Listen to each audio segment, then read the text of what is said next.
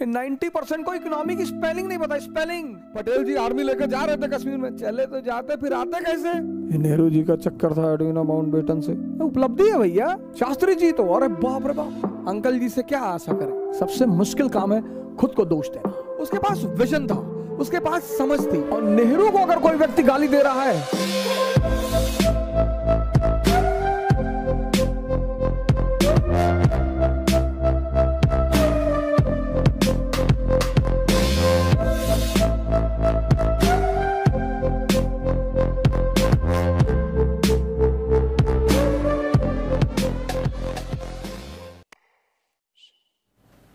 कल मैंने आपको डॉक्टर अंबेडकर की डिग्रियाँ बताई। उनको पता था इकोनॉमी और सोसाइटी का क्या रिलेशन है।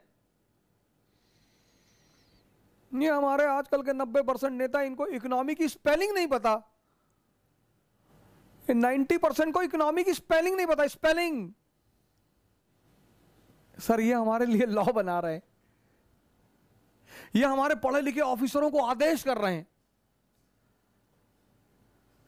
जो आईएएस जिस लड़के ने निकाला है, सर आईपीएस जो है, उसको वो आदमी ऑर्डर दे रहा है जिसको ये नहीं पता कि गैंगटॉक हिंदुस्तान में है कि हिंदुस्तान से बाहर है। एक हमारे दोस्त है, विधायक, उन्होंने एक बार हमको फ़ोन किया।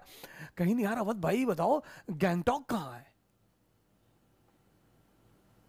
अरे, मैंने कहा, विधायक जी गैंगटॉक नहीं, आपको कैसे पता होगा? ब्राज़ील। बोले, ब्राज़ील? अरे हम कहा, वो है दूसरे दूसरे कंट्री में है। कहा, हम पहले ही इनसे कह रहे थे कंट्री में है ही नहीं। एमएलए है sir member of legislative assembly नेता थे, अच्छे अच्छे पढ़े लिखे नेता। लगभग सारे नेता 1950 के आसपास के जितने भी नेता हैं, सबने किताबें लिखी हैं। नेहरू ने लिखा, मौलाना आज़ाद ने लिखा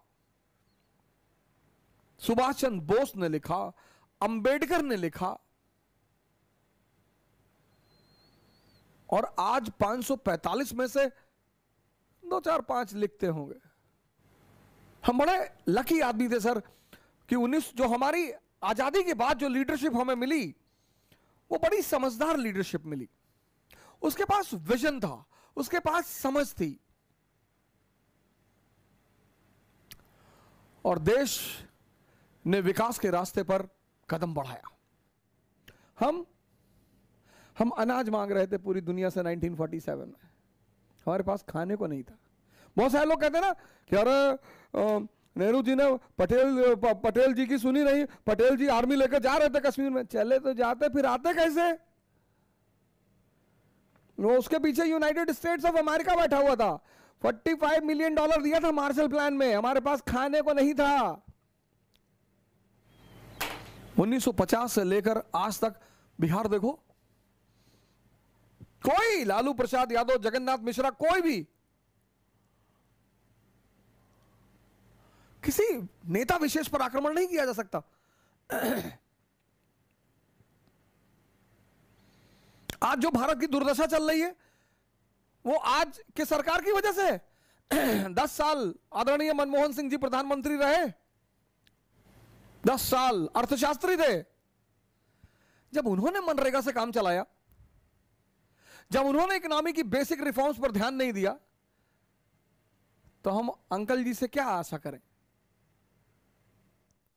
जैसे हमारे बहुत सारे भारत के लोग, जो नेहरू के बारे में कुछ नहीं जानते, कुछ भी नहीं, वो एडविना माउंट बेटन के बारे में जानते हैं। नेहरू जी का चक्कर था एडविना माउंट बेटन से। और एडमिना माउंट बेटन के कहने पे जो है उन्होंने कश्मीर दे दिया। सब एडमिना ने करवाया था। तुम नेहरू के चौकीदार थे, देख रहे थे। ये भारत की एक आम मानसिकता है। इडियट जो वर्ड है, बड़ा प्यारा वर्ड है, बेवकूफ़। बेवकूफ़ मतलब जो दूसरे के जीवन में दखलंदाजी रखे। आप कैसे पता करोगे बेवकूफ़ है? उसकी बातों से नॉन अलाइन मूवमेंट बताओ, नहीं बताओ। फ़र्स्ट फ़र्स्ट प्लान बताओ फाइव ईयर प्लान नहीं बताओ। नेहरू की ट्राइबल पॉलिसी बताओ, नहीं पता लेकिन यह पता है एडविना माउंट वेटन से रिलेशन है। उपलब्धि है भैया। जिस कौम ने पूरा भारत पर कब्जा किया, उस आदमी ने उस कौम की वॉइस रॉय की पत्नी फंसा ली। मूर्ख जो होते हैं, मूर्ख, वो दूसरे के जीवन पर बड़ा नज़र रखते हैं। और कौन पार्टी, कौन सा दल, कौन सा नेता पिछले तीस साल नेहरू जी ने किया, इस देश के लिए बहुत किया। ओ, महान आदमी। शास्त्री जी तो अरे बाप रे बाप। बारह हज़ार रुपए अपनी कार का किस्त नहीं दे पाए शास्त्री जी। और नेहरू को अगर कोई व्यक्ति गाली दे रहा है तो वो ऐतिहासिक मूर्ख है। उससे बहस ही नहीं की जानी चाहिए। जो देश 1947 में कोई मान ही नहीं रहा था कि बचेगा ये देश। Sugar 800 BP 200 uric acid 20